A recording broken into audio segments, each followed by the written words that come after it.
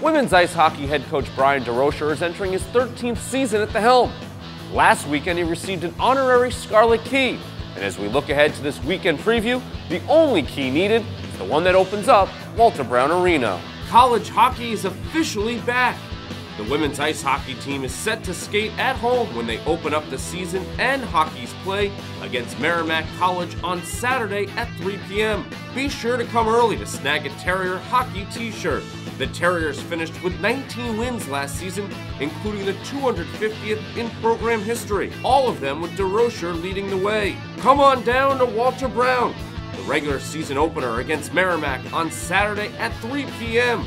Now, here's a look at the rest of the home schedule this weekend. For more information, visit GoTerriers.com or to buy tickets for upcoming games, visit GoTerriers.com slash tickets.